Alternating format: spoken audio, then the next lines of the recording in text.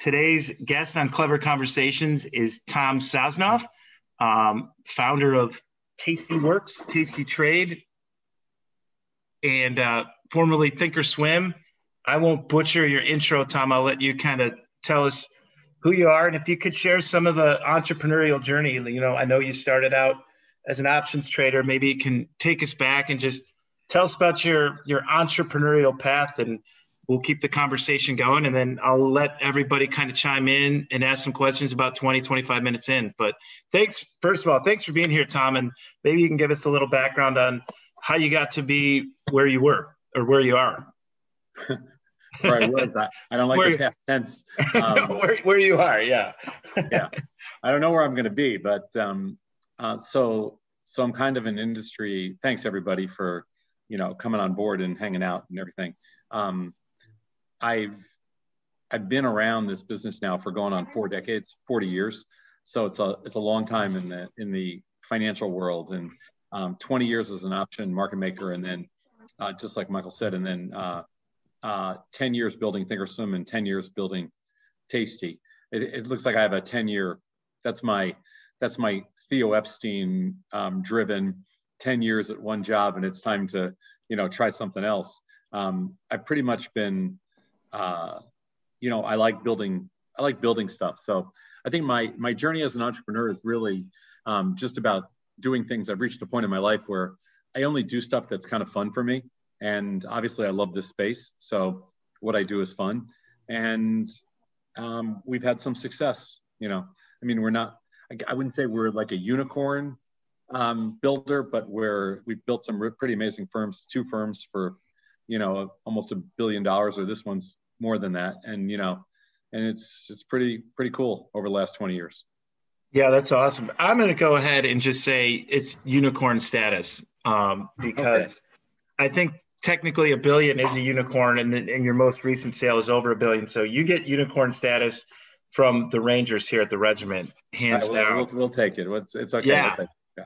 you know i'm former floor trader myself um, that transition from moving off the floor to trading online was interesting for myself. I wonder how much of that transition, like when you left the floor at the Cboe, maybe you could give us a little insight into your experience on the floor, like what you learned as a trader, because a lot of times, you know, the open outcry pit traders were just it was a good coffee table conversation piece. It wasn't like what did we actually learn down there, but maybe you could share what that transition was like when you left the floor, why you made that transition, why what was the impetus behind it, and what did you learn, and how did that how did those experiences on the floor help you when you when well, you left? You know, I mean, I pretty much started trading pretty pretty much right out of college. It was it was um, so I, I never really had any other experiences and um,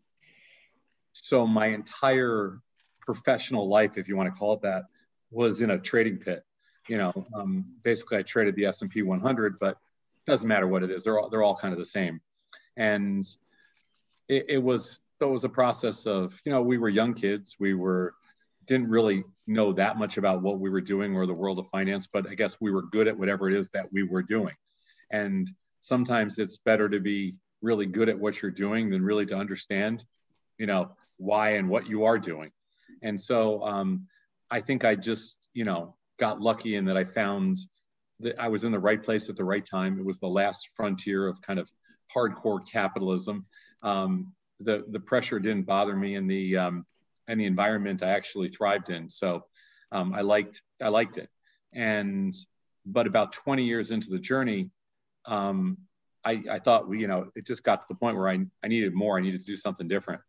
So I felt the industry was going to change. We were going electronic. I would have been, you know, I would have been basically forced out. Um, and so I decided to try something else. And, you know, and that was the, that was kind of the genesis behind building Thinkorswim, which at the time we didn't really know what it was going to be, but I left the floor to build it. Um, uh, and I you know, myself and at the time my partner Scott Sheridan, we we rolled all the money we had made in the prior years, you know, in the prior decade, um, into starting Thinkorswim, and we took a shot. And uh, you know, we both believed in kind of the idea, and we believed in taking. Most important thing was we just believed in taking risk, and we, you know, we taught ourselves how to build software, and we, um, I mean, we didn't actually build the software. We just taught ourselves how to find really smart people to build software, and and we, you know, we struck something. You know, it was like we were. It's almost like you were kind of doing a little exploratory, um, looking for natural resources, and and we put a pole in the ground and we hit oil, and so um, you know, we stuck with what we knew and, and it worked. And we, we changed the industry through building technology. And we were, a, we were a public company and um, we, we were an attractive public company in the 2008, 2009 meltdown. So we had like three, at least three companies bidding for us at the same time. And we chose TD Ameritrade, I guess, because, you know, they were, they were the strongest of the players. At least we thought they were.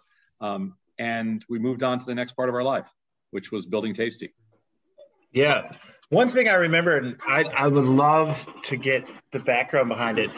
I could always tell when we would met, meet uh, a Thinkorswim client at a conference, they would kind of look at you, and if you said you were a Thinkorswim client, the first question they would always ask is, "What did you get in the mail a week after you opened an account?" I thought it was genius. I would love to know whose idea it was to send the stuffed animal um, monkey in the mail, and it was almost like a, a badge of honor if, if you did actually open a Thinkorswim account to get the stuffed animal in the mail. Like I thought that was one of the best stories I've heard in marketing. I'll give, you a, yeah. I'll give you a little. I'll give you a little backstory to that. So when we when we first built Toss, we were thinking to ourselves, you know, like we got to do something different. So the first thing we did when we when we opened, we didn't have any customers. So the first couple of people that signed up, we decided we're going to be geniuses. We're going to give you six bottles of barbecue sauce. What we didn't realize at the time was how expensive it was to ship six bottles of barbecue sauce and and how impossible it was for them not to break. So that lasted about a week. And afterwards, one of the guys that worked for us had written a book. So we we we kind of rewrote, we didn't really rewrite the book. We just kind of cleaned it up, put a new cover on it, slapped a new name on it, and changed it to be a little more of our style. And we sent a book out to every person that opened an account. Well, it turns out this person didn't really work well. We didn't, we didn't, he didn't work for us. We didn't, I mean, he, he worked for us, but we didn't, we didn't really, he was a little bit of a cancer in the clubhouse, if you know what I mean. And so I decided that you know, I wasn't going to sell my soul for a book. So I said, listen, we can replace that book with a stuffed with a stuffed monkey and we'll be and we'll be fine. And it really started off as a joke, you know, like and uh and here's the crazy thing. When we first started, we were paying like ten dollars a monkey, you know, for the Thinkorswim monkey. And um, um, that was our first, you know, whatever, the first uh, 5,000 of them that we ordered. And then by the end, we were paying like two dollars a monkey and ordering twenty five thousand at a clip from China. So, uh, but the funny thing was, it did last. We we probably gave out a hundred and something thousand, hundred and twenty five thousand monkeys, and and the funniest part was we used to stuff them in house, like our you know ourselves. And so we'd have like monkey stuffing parties, you know, into the boxes, into these like little coffins, and we send a little note inside to people, and it was became a big giant game. And so yeah, it was fun. Yeah. At, at, Tasty, we gave we gave pins, cherry pins. Yeah. So when you open that now, we give you a cherry pin. Yeah, very cool. So with and and you had mentioned like when you opened up, like you only want to do stuff that you can have fun with, that you enjoy and have fun with, and I mean that's so important. Like, can you stress the importance for our listeners, like how important it is that you really have well, to have fun and enjoy what you do? Well, it's it's not easy. First of all, it, it's something that comes with there, there's a you know the business of entrepreneurship is not easy, and you know anybody that says you know it, it, it anybody that thinks that there's a lot of luck involved. I mean, there's a lot of decision making involved, and when you take a lot of risk, you know you deserve to be rewarded with what seems like luck, but what it really is is just making a lot of the right choices. Um, it's very difficult, and you know this, it's really difficult to build a, a, successful business, let alone a billion dollar business. I mean, not that many people do it. And so, um, so, so there the challenges along the way, you know, are crazy. How do I raise money? You know, do I have the the do I have the um, can I articulate the model? If I can articulate the model, will somebody believe me? And if somebody believes me, will it actually work? And and so there's all these different you know pieces that have to fall into place. So, you know, I I think for us, um, one of our strengths was that we had very strong domain expertise. And so we stuck with what we were really good at. And we felt like if we are the best at something, which we felt confident we were the best in this derivative space, then, you know, then, then, then individuals will recognize that and they will, you know, they, they will, they will believe us and they will use our product. Yeah. And it holds true today. I mean, Thinkorswim is still um, an options trading platform that TD Ameritrade, you know, leverages for its clients. So it's still in the marketplace. Thinkorswim, Thinkorswim today is actually Thinkorswim outlived TD Ameritrade. Thinkorswim is now owned by Schwab, and Schwab is getting rid of the TD Ameritrade name and keeping the Thinkorswim name. There you go. It's funny. I always used to tell Fred Tomczak, who was the CEO of TD Ameritrade, I go, you know, when someday TD Ameritrade will be gone and Thinkorswim will be the name of this company, he goes over my dead body. yeah, it out, outlasted it. We used to um, when when TD Ameritrade first bought Thinkorswim, uh, the first thing that that Fred told me and the management team at TD was like, listen, you know, you guys have built an amazing company, but we hate the name Thinkorswim, and so because it doesn't fit our image, so we're going to change it to the ultimate trading platform. And I said, that is the dumbest thing you could ever do is trade the change the name. I go, listen, you're paying seven hundred fifty million dollars. You want to change the name? Go change the name. It's your, you know, it's your money. But it's the stupidest marketing decision ever. And so they, so we argued about it a little bit, and then they hired an outside consulting company, and the outside consulting company came to him and said, "This is the dumbest decision you could make to change the name." And so they kept the name, and there it is still today. It's awesome. It's a great name. It really resonates. How did you guys come up with that? Because I've heard of sink or swim. You know, it's kind of like survival, sink or swim, but yeah, sink so, or swim. So I'll yeah. tell you, it. Scott and I were trading in the in the OEX pit back in 1999, and I told Scott, you know, I had this idea for building. Thinkorswim wasn't initially going to be just a brokerage firm, we had a lot of ideas. It, it had, you know, options on anything. There was there was different pieces to it. it had an RIA attached originally, some different ideas. And so I was telling Scott what I wanted to do, and we were we were 50-50 partners and everything. And he said, "Yeah, but what do you want to call this?" I go, "You got to give me the weekend because I got a couple of names." And Thinkorswim was my favorite name, and I just came up with it walking through the middle of my house. I have no idea why. And I came back and I said Thinkorswim, and he said to me, he goes, he goes, you know what? I kind of like that name. So it, it just stuck between the two of us. When we launched, um, a woman who writes a columnist for Crain's said there's a new company in Chicago that just launched a brokerage, an online brokerage firm called Thinkorswim. With a name that stupid, there's no way they stay in business. That's like an exact quote. And so that quote, that quote motivated us. You know, that was bulletin board stuff. And uh, um, so we were thinking at, t- at first, we were OEX traders and we didn't want people knowing what we were doing. So we were going to keep the name Thinkorswim and then change it when we went live. But since you wrote that article, we kept the name and just said, screw it, let's go for it. Yeah, it kind of became the motivation to keep you going. That's yeah, that's yeah, great. Yeah, yeah, yeah. You need what stuff like that. You know, absolutely. So maybe you can share something, a memory that sticks out to you, like a lesson learned from Thinkorswim, like something that resonates with you or sticks out, like something that would help another entrepreneur, like that's trying to build a company um, well, I, I think one of the most important things, and uh, I talk about this a lot, is there's a couple things actually. For for starters, don't don't build a company to solve a problem. Like nobody gives a fuck. Nobody cares about somebody else's problems or what. Like like like if you told me you're raising money because you figured out what like what somebody else couldn't figure out, forget that.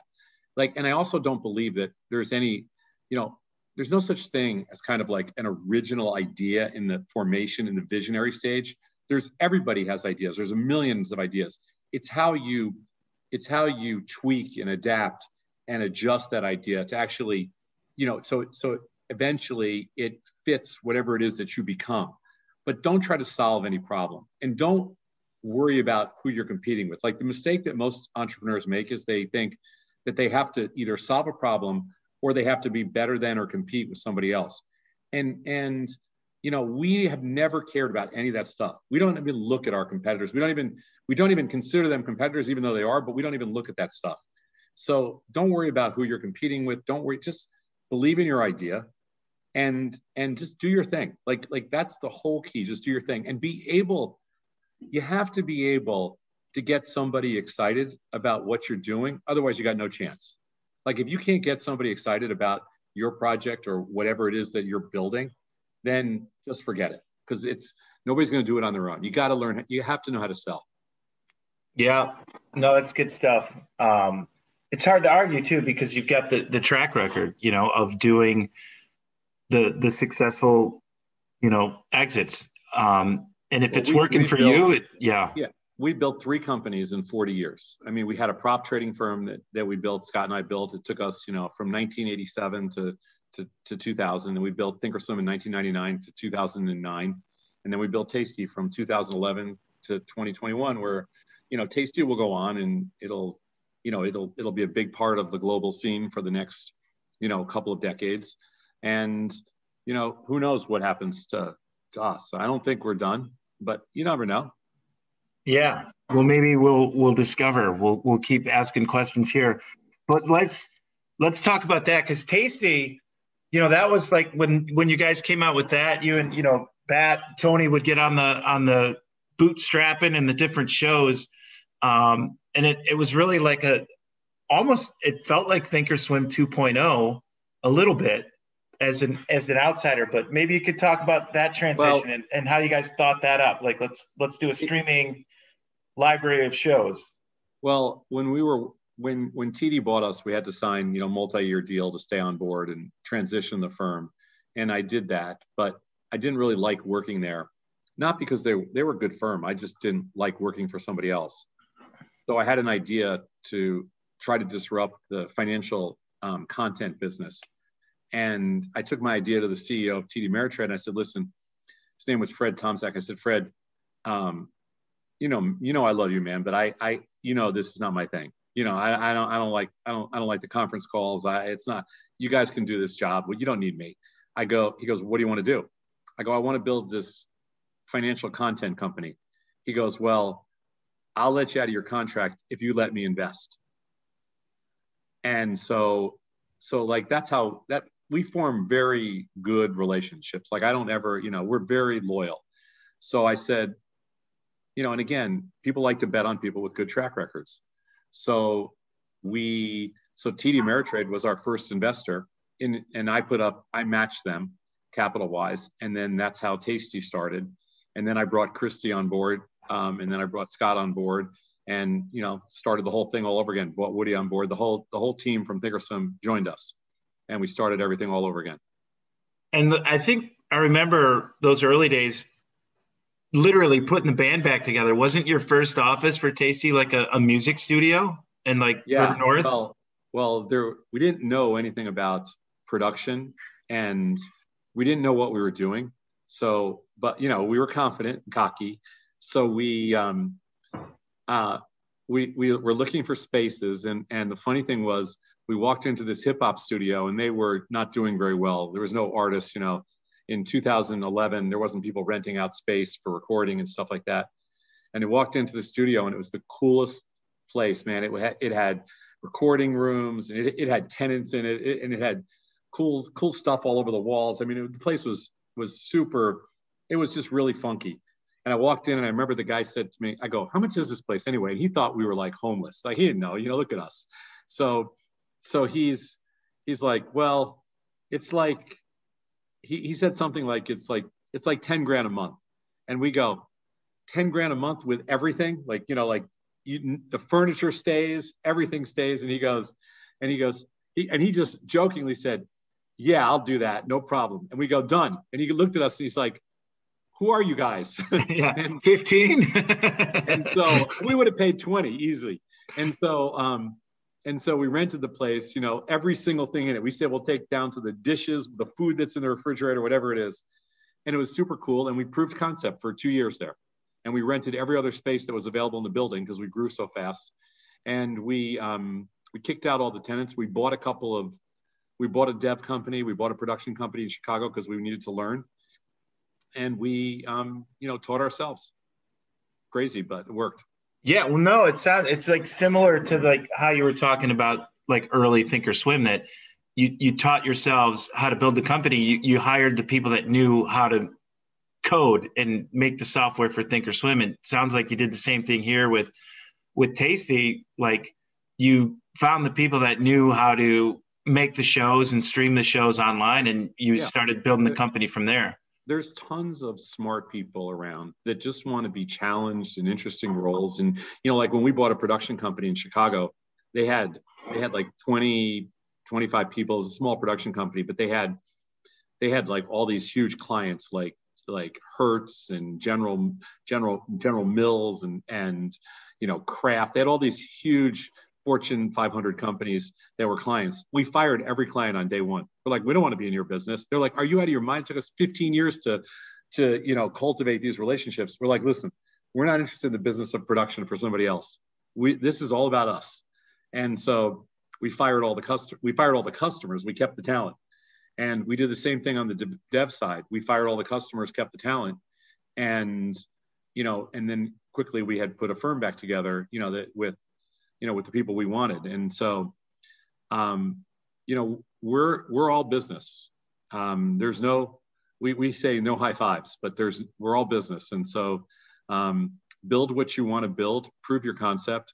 You know the nice thing about having some success is you can raise money easy easier. So when we went to the street to raise money you know people were sure whatever you guys want. And you know and then you know that, that that's so when when when it got to 2021 in tasty there was you know we built this really incredible company and then there's there was five firms bidding for us this year. So you know that's why we basically sold because you know with five different firms bidding for you you pretty much can pick the direction you want it to go and i want it to go global.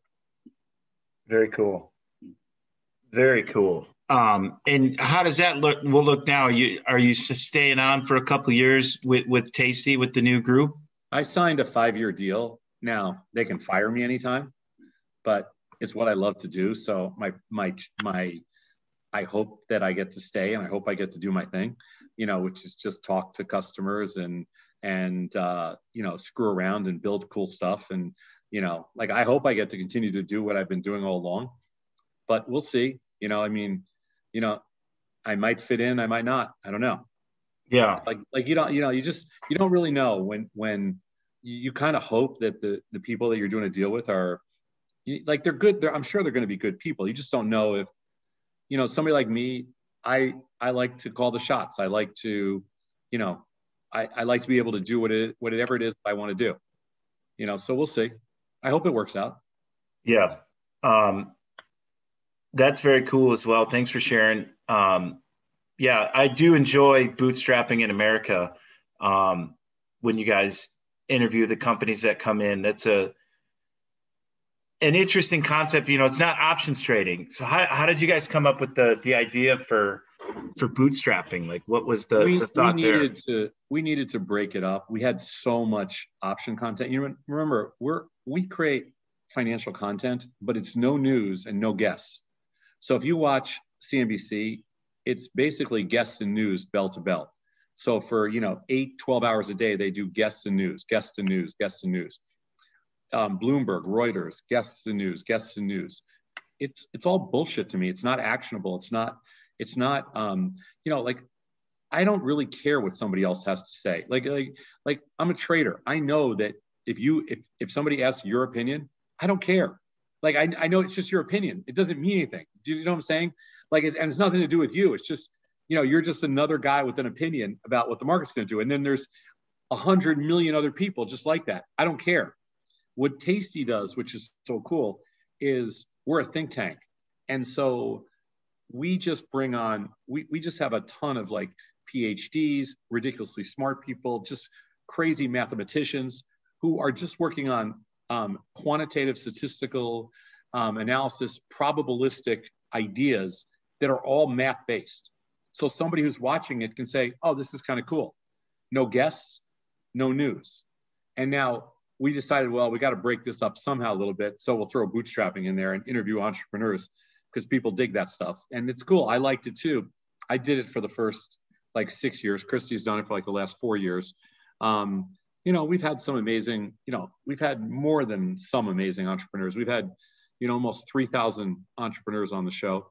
And, you know, for a short 20 minute interview, um, it's super cool. I, you know, I'll leave it at that. It's not, it doesn't, it doesn't do anything for us other than, you know, change of pace, but it's cool. Yeah, I really enjoy that. I mean, I enjoy all the the programming. Um, I'm not trading as much as I was, if any at all, really anymore as I was ten years ago. But it, it's good to get that that break in the day, so to speak, and and, yeah. and break up the the the think tank, so to speak, to get some of the. Yeah, listen, we try to have fun. I mean, I'm I don't want to listen to people that take themselves too seriously. So, you know, Tony and I screw around all day. In addition to, you know, um, we have a lot of really talented people that you know that that that can communicate on air and don't take themselves too seriously. Yeah, I'm curious. Um, so outside of options and you know the three companies in 40 years that you've built and exited you know what other types of investments do you look at are you a private market investor at all or you just i'm going to build it i'm going to invest in myself i'd be curious to know like what other types of um, investments you look at? Well, I've made dozens and dozens and dozens of angel and private investments over the last, you know, 30, 40 years. Um, I, you'll be happy to know that my track record, I am over. I've never made a winner um, in 30 years. I don't have a single winner. Um, every single investment I've made, because I'm not very good at betting deals, and I'm I'm not very good, obviously, at picking people or deals or any of that kind of stuff. So I'm not I'm not really a good investor, but I've the lucky thing for me is it's only been a small part of my my um, wealth or whatever you want to call it. So for the most part, um, the lion's share of everything that I have invested is in my own companies. Got it. that so, makes sense. You know, I believe in what we do, and it's worked out nice. I've done really poorly. You know, I feel like it's kind of cool to make investments, so I do it, but I'm just not very good at it. That's all. Gotcha. Um, well, thanks for the the candid uh, response there. You know, a lot of people don't ever like to admit they make bad investments um, or wrong investments. I wouldn't say it was a bad investment, just one that didn't work out. So it's just pre- it's really it's really hard when you talk to somebody like you know. Um, I mean, most of the time, I've only been like I've only been like ripped off, so to speak. meaning like really kind of conned, you know, by by by some shyster or something, only like once or twice. Most of my investments that don't work out are really well intended, smart young people. I have found that the hard hardest part about taking a shot with a 25 year old, you know, is um, like I'm invested right now um, with a kid that uh, this is his third company, and he's now he's 30. I made my first investment when he was 23, and they, it didn't go anywhere. My second investment when he was 25. And now he finally has a win. Like it's hard in your early 20s. And, and I think that, um, you know, when you get into your 30s and maybe your 40s, it's, it's a little bit better. Um, the odds are a little bit better, not because, not for anything other than a certain level of experience and um, maybe you know, credibility. I'm not sure even if credibility is the right word, but but maybe you just need to be or go around the block a few times. You know, I don't know. That's maybe that's it. I'm not sure. Definitely, the experience and wisdom with age coming is is definitely a, a real thing. Um, yeah, I mean, there's just not that many. There's not that many Mark Zuckerberg stories. You know, I mean, when when you really get down to it, um, it's very hard at 20, 21, 22, and you know, most successful entrepreneurs are a little bit older, and they've had some experience, and they've networked a little bit. And um, and listen, I'm not a, I'm not one of these people that you know, I believe in dilution. I'm a strong believer in dilution. Like you have to raise money when you can. And so I don't have any problem with dilution.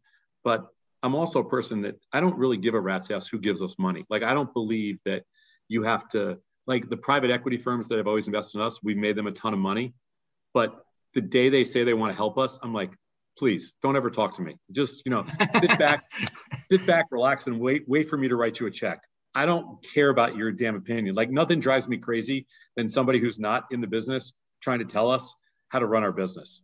So the one of the nice things that comes with success is you don't have to deal with you don't have to deal with that. If you're a young entrepreneur, you got to deal with these private equity firms and venture firms that are on your boards and they have their hooks into you. It's really hard. You know, for us, we don't have to deal with that, which is nice. Yeah. Gives you the freedom of the all decisions and movement of the company. Success gives you leverage, control and leverage, which is an which is, you know, listen, you earn it, but you know, it does make it easier. Yeah. Well, I mean, you put the time in. It's 40 years, three companies. It's not like you just snapped your fingers. You, you had to roll up your sleeves and, and go after it. Um, being in Chicago, I'm curious, um, and I don't even know, you may have a, a, show on Tasty about crypto, but how much have you guys been watching crypto at all or being involved? Are you watching that? And like, sure. are there option own, trades around that? Well, Tasty Tastyworks is the only platform, the only major platform in America that um, of the of like you know TD, E Trade, Schwab, Fidelity. We're the only ones, and Interactive Brokers. We're the only ones that offer um, uh, cash crypto on the platform 24 seven. So we're live with crypto um, around the clock, and um, we've had it now for you know the last couple months. Um, that's cash market only. We also offer the futures, but, but basically we're in the cash we also bought 30% of a company in Chicago called Zero Hash, which is a um, digital asset uh, settlement company, and we bought them pretty good. So um, we we execute through them, and um, they're a really fast-growing young company run by some smart, some very smart young people, and so um, so we're we're knee deep into um, crypto, and we're also in the process of being the first firm to launch um, physical gold through secure tokens. So we're going to be actually expanding, you know, our our secure token offering because we believe strongly in alternative investments. We also launched our own exchange in the last year called the Small Exchange. Um, so you know that's it's it's growing. It's it's a tiny exchange, but you know we're one of the we're the you know third or fourth largest futures exchange now in the U.S. So we'll see what happens. Yeah, Donnie Roberts is one of my favorite people on earth. Um, he's the CEO of Small Exchange, but he's been with you for a long time as well, hasn't he? Donnie, I hired one 21 years ago when we built Thinkorswim. To, he was one of the first seven people. Yeah, and that that I mean that speaks volumes. Me being you know a founder, if if you have a team that sticks with you for 21 years, like that speaks a lot about the culture and the fun you're having um, and the success. But maybe, yeah, well, go a ahead. Good rule of thumb. A good rule of thumb is always hire people from Buffalo, New York. are you from Buffalo? I am not. but Donnie is. Donnie is, and so are a lot of other people. We we've hired like uh, like two dozen people from that went to St. Bonaventures, which is in Buffalo, and we've um, we have a we have a very close Buffalo connection. It's good blue collar, hard work in America. That's good to know. I uh, will start a, re- a, recruiting trip to Buffalo.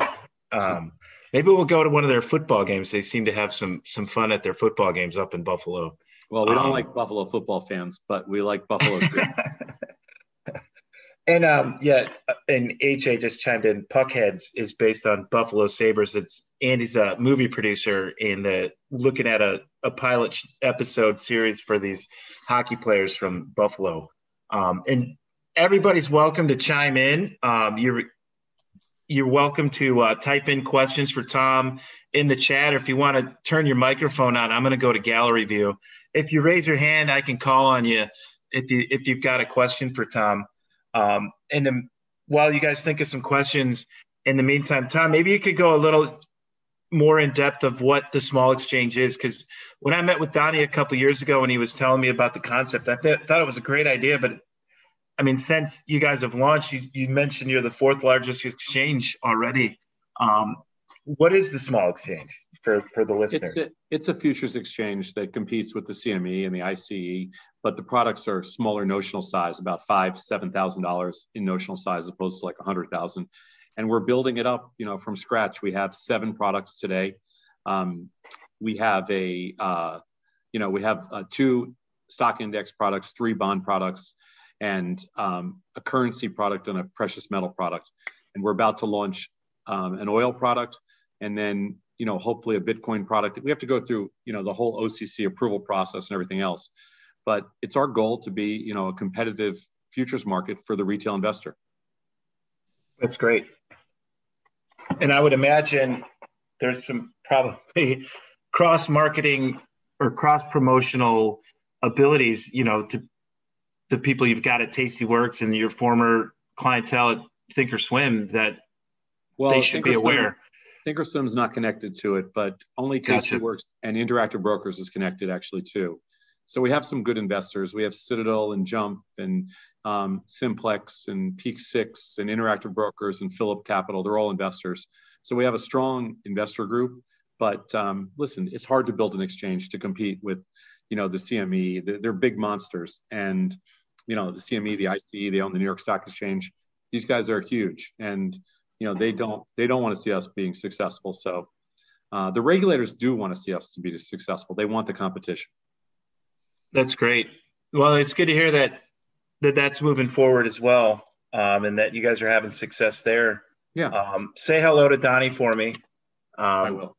Awesome. And do you guys share the same office with Small Exchange? Tasty and Small in the same office, or they're? Um, t- the Small Exchange is in our. We have a startup office um, that's over in the West Loop. They share a space with another company we own called Dough, which is a which is a small um, brokerage firm. So they share an office with Small Exchange and Dough share a, a building. Very cool. I think I've been to that one too. Um, and that you said that's in the West Loop, right? Yeah, I think I've yeah. I've been. It's on I've Aberdeen. Yeah. Very cool. Um, our group is shy today without any questions. Um, typically, hey, Tom, I have a question. There we go. Billy's got a question. Sure. I'm hey. curious what you're gonna uh, what you're gonna say to the new CEO of the group or the CEO of this group that you want to do uh, in the next you know couple months, and can I invest? Um, yeah, it's publicly traded, and if you can, it's publicly traded on the London Stock Exchange um, under the symbol IG Capital, and it's actually relatively cheap compared to. Compared no, I to, mean, I'm curious what you're going to tell him you want to do going forward now, and oh, can I invest well, first, in you? first of all, it's a woman, and okay, um, yeah, it's an American woman running a um, running a British company and her name is June Felix, and she seems nice. She seems very smart. I don't know her. Sure. I don't know her other than the few meetings that we've had. Um, she seems clear of the concept.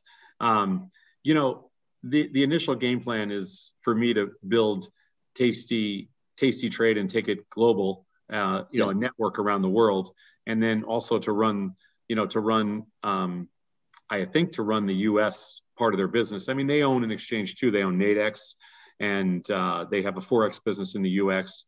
So, you know, I, I, mean, I'm sure there's plenty to do. It just ultimately depends on, you know, is, is this the right, is this the right mix? Is this the right sure. place for you? You know, like like you never know that stuff. Like, I'm going to get along with everybody because that's my that's my personality. I mean, I'm going to be the largest shareholder of the company, so I, I gotta love the company, you know. Sure. So, so um, I'm excited about it. I wanted to go global. I just I didn't. I'm not excited about the pandemic, obviously, but I'm I'm I'm excited that you know we're going to get a chance to take our message and take our technology. There's only one firm that's truly global right now, and that's Interactive Brokers. And I feel that there's a very ripe opportunity for us because there's only one firm to compete with globally. Yeah. And so I, I love going up against Interactive Brokers. You know, they're I know them well, and I feel like we can compete on every level with them. And I'm kind of relishing the opportunity. Cool. I'm curious, like when you say go global, is that with the content or is that more like the brokerage execution or or both? It's both. I want to go I want to go 24/5 with content and I want to take our execution platform and and they're licensed in 17 countries and I want to add 17 countries, you know, to our to our offerings where we can solicit business and and we can bring business back to the US. So, yeah, no, it's both. It's going big time. Gotcha. Well, maybe the investment here is Rosetta Stone software. Sounds like Tony and Kristi are going to have to learn some some new languages. How no, did, no, no. We do. We're we're we're very ethnocentric. Everything gets done in English. We don't. There's not. You know, it's too hard to do it the other way. So would you do like subtitles? Like if you're no. like, nope, just no. going to be in English. Yeah, yeah. The only place that's a problem is is kind of Japan, um, but but everywhere else, you know, even in China, it's not a problem um, China, Singapore, Taiwan, it's not a problem anywhere. The English, India, it's not a problem. I mean, every, English is the language. South America can be sometimes a little bit of a problem, but for the most part, it's really just Japan, and you know we'll deal with it. It's just something you have to deal with. Yeah, interesting. Well, that's I mean, it's a big vision. I love it, um, and it's good to have that bogey out there. You know, with Thomas Peterffy at Interactive Brokers being international, you know, you make a good point that there isn't a ton of competition there. So, um, no, there's can, literally there's literally one firm. I mean, there's in the U.S. markets, you know, the, you know, I mean, to a certain extent, we'll compete with eToro too, because they're but they're an Israeli firm. But in the U.S. markets here, TD, Schwab, Fidelity, E Trade, none of them are none of them are international. None of them are, are capable of going international. So it's it's just interactive brokers, and then it's going to be us so that you know we'll have an opportunity to go after the global markets. And and i love that stuff. Man that's you know listen interactive brokers is a 30 billion dollar company now or close to it whatever it is 28 billion. You know um, we're going to be a 4 billion or 5 billion dollar company. You know it's i like being the underdog. That's cool. Well i can tell you're you're jazzed up about it so um, oh yeah. we're going to follow along for sure to to watch the next phase of growth here with you guys. It's going to be going to be exciting um, and and fun to watch. You know, maybe it won't take ten years for the next you know unicorn exit for you. Maybe you get it down to get it down to five. It looks like you've got a five year I'll be deal. dead, so I'll be dead. So it's like you know, it's okay. I'm, I don't I don't I don't do anything anyway. I'm I'm a one trick pony. I don't I don't have any other life. I mean, I don't have any hobbies. I don't have any. I don't go anywhere. I was um, just going to ask, like, what outside of like when you're not you know, having fun in the office with the team, and when you're not on the, you know, yeah, I, I doing I the show, like what what do you do to pass the time? Nothing. Like this is what I, I'm a I'm a workaholic, and all my friends we work together, and all my and my whole life is around you know what we do work wise. I really don't. Um, I'm hobbyless, and uh, you know I don't I don't I don't really travel much. I mean, other than for work. So it's like it's I'm pretty much a one trick pony. You're definitely collecting the, the the Campbell soup cans behind you, though. That that's definitely well. That... Usually, usually I do these shows with the virtual background, but for some reason it didn't. The couldn't get the Zoom call up on my virtual background screen. So the Campbell soup behind me is because I live in this in this loft in the city where there's um, um where I decided that the I bought it off this famous sculptor who when she died, um, uh, I decided I was going to do no artwork, and so I just have cans of soup and cans of corn and can and bottles of and boxes of cereal as artwork all over the house. That's well, it's great for the the pandemic lockdown. You know, you yeah. you knew you didn't have to go run into the store. Well, actually, these are pretty old. I wouldn't touch these. I'm not confident that they're any good. It's funny. Looks like John has a question. No, I was just okay. gonna say it looks like you're in a bunker. yeah, yeah. I was kind of thinking it's it's it's kind of a weird, yeah, it's a weird look. But John, really, I didn't think I'd be home like you know a year after this thing started. I didn't think I'd still be broadcasting from my house. Yeah, you need some barbecue sauce, I think. There you I, go. I got, hey, hey, if I showed you my barbecue sauce collection, you'd be impressed. I got like I got like 15 bottles of that crap. It's great. Very cool. Well, it doesn't look like we have any other questions. Um, Looks like Brett's got one. Brett's waving. All right, cool. Hey, yeah, yeah, I'm, I'm fine time wise. Brett, what do you got? Hey Tom, yeah, just wondering if you could talk a little bit more about the uh, the tokenization of uh, legacy financial instruments like the gold one, and yeah, what you see, you know, with uh, the roadblocks and the potential for other commodities and other, and, and obviously private assets. Yeah, I, I actually think it's it's the tip of the iceberg. I think it's the infancy stage for that. I mean, we are going to be, like I said, we're the first firm that offered, you know, Bitcoin, cash Bitcoin, but we're going we're about to be the first firm next week that offers physical gold through um, you know PAX Gold and secure tokens. But that is just the reason we're doing gold is because that's at least a decent sized fund. So it, there's a certain level of you know trust there. Um, i guess we'll go silver next when we find the right you know when we're comfortable with the right fund. And then after that you know it's we're kind of breaking down the barrier to i don't see where the you know, I, as long as it's cash, so it's not considered kind of like a, a future or anything, I don't see where we're going to be limited. I mean, I believe that the next decade, the, the, the next, whatever it is, eight years or something, eight, eight to 10 years, the focus for individual investors is going to be on A, capital efficiency with listed products, and B, alternative investments with non listed products.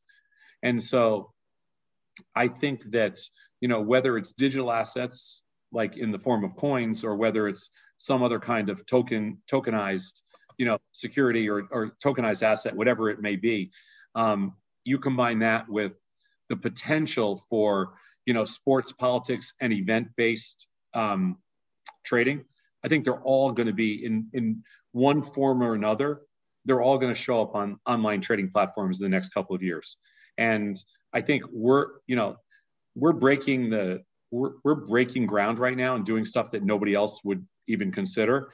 Um, but I think it's, you know, as soon as we announced we were doing um, physical gold through the secure tokens, you know, like like another firm immediately said we're doing the same thing.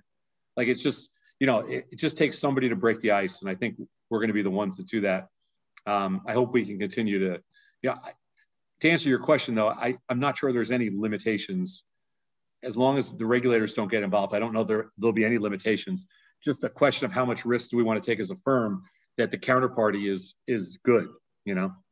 So it looks pretty clear with uh, staying, you know, in cash and not, you know, no derivatives, right? That's what yeah, you're saying. for the for the time being, um, you know, we'll have to offer derivatives on a listed exchange like the small exchange, where we can do futures and options and and do it leveraged so that people can trade those because ultimately it's about capital efficiency but initially, um, in order to break the ice, we're going to have to do, you know, fully secured cash products that are not, you know, w- that basically we have to guarantee or we have to trust the counterparty. It's not my favorite, but it, it's the only way to break down the barriers. Thank you. Sure. Good question. Yeah, it was a great question. Must have been a University of Wisconsin graduate. That seemed like a very smart question. I've known Brett for for a long time uh, since college, so um, always good to get another fellow Badger on the on the show. Um, again, Tom, thanks for spending some time with us. Always a pleasure to see you. Congrats again on the on the recent sale of Tasty to IG Group. Uh, wish you the most success in in the future with everything you're doing and say hello to Donnie. And thanks to everybody for coming. We'll see you next Thursday. Thanks again, Tom. Thanks.